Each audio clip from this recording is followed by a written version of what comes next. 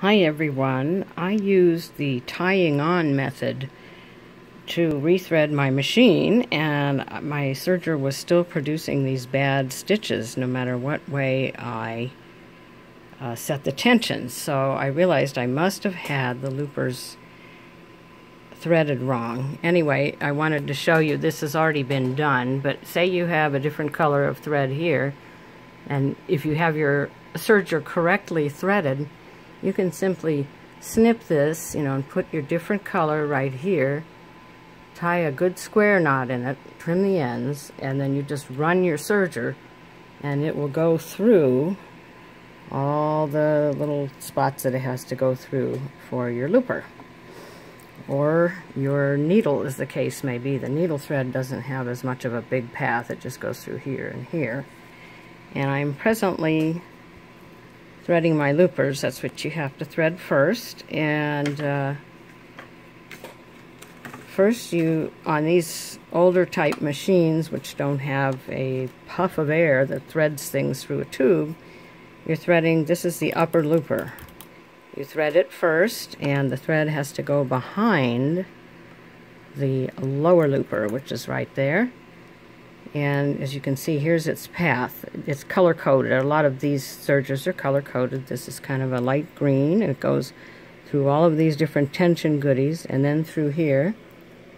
And uh, wanted to show you what I use to thread through the tiny little holes. I have these little uh, they're dental floss items. I don't know how to use them on my teeth to be honest with you but it's a little piece of plastic with a little loop on the end and I put the thread through there and I'll see if I can show you how I do it on the second or lower looper in just a second. So first of all, it's very important that you put all of your tension discs down to zero so that it's easy for you to thread. Now, of course, it's occasions like these when I realize I really need to get a little video camera with an actual tripod, but I've leaned my phone up against something. This is the lower looper, and it's color-coded blue, as you can see up here. It's the blue tension disc, so we're, well, I should show you from the beginning here. The first thing you do is you bring it up through your thread tree, and then here's a tension disc, it's blue, and this is how you thread it from left to right. And then you go through this little slot and through this big tension disc that's adjustable.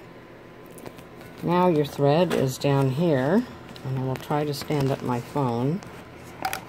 See if I can do this. Okay, so this thread is of course blown around a little bit because it's hot and humid and I have a fan on. But anyway, you just follow. Here's your your first blue is going to be right here. And keep in mind if you put the blue thread into the green tension uh, hooks and stuff, it's not going to work. And I probably did something like that and really screwed up the, the um, threading. Anyway, you can use your tweezers or your fingers to get it through this second. Well, we're going to use some fingers here. Just a moment. This really looks very complicated, but after you do it a bunch of times, it's not so awful. And the next uh, is right down here.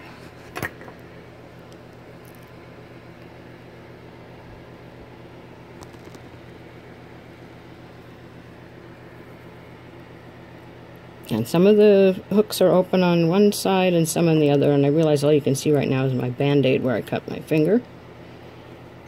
Uh, but you put it in this hook, which is open on the right side. Okay. Okay, so there's that. And this one, I loosened the upper looper, so I'm just going to pull that back into it's where it's supposed to be. Okay, now we have one more little hook right up here. And then, then comes the tricky part after this.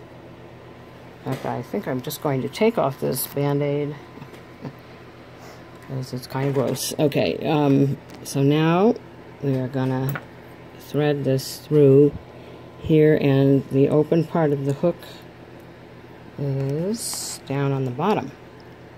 So it helps if you take your tweezers and then catch the thread through the opening and going out to the other side there. It gives you some tension. And then you can take your thread. And I think this is an under, yeah, this is an under hook. Okay, now I'm going to pause it for a minute so you guys can see the really crazy part.